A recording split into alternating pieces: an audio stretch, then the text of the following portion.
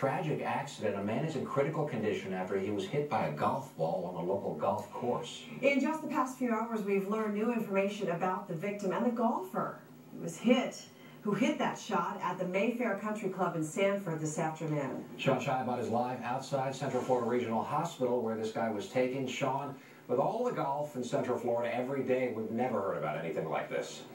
Yeah, you, can talk to golfers, they say that it happens every now and again, but never anything this bad. Deputies say 42-year-old Maurice Hayden is in pretty bad shape here at the hospital, all of because a single golf ball, they say it hit him square in the temple.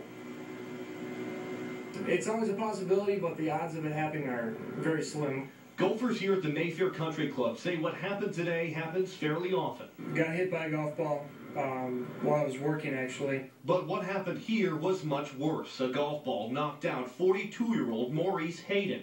Deputies say the groundskeeper was about 100 feet away from a powerful drive coming off the second tee. Well, hit him right in the temple too, so at 135 or whatever miles an hour drive is, you know, that's a pretty, that's a severe blow. He's known Hayden for the three years he maintained the grounds. He watched paramedics try for nearly 10 minutes to revive Hayden until they finally hauled him off to the hospital, still unconscious and not breathing. Some witnesses say it appears the golfer just sliced the ball and it veered off the edge of the fairway.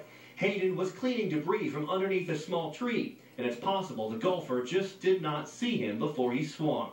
The public course was packed with holiday golfers who remained shocked by what happened. I've been on a golf course every single day for three, four weeks, and never once did I think my life was in, at risk, and it was a real wake-up call.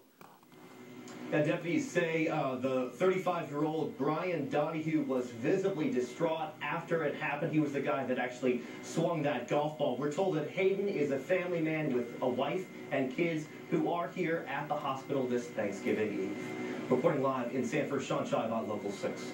You know, Sean, anyone who's been out on the golf course knows that all day long groundskeepers are there. They're working around golfers. Still, though, how do you how do you prevent something like this from happening? What's the answer? You know, you talk to golfers who are out there every day or at least every week, and they say that, you know, you really just got to keep an eye out for whoever's in the tee box. They say that, uh, you know, these groundskeepers are trained to watch out, but again, they really just have to do their job. So you can't have eyes in the back of your head. Yeah, this is just awful for everybody all around. Okay, Sean Live tonight. Thank you.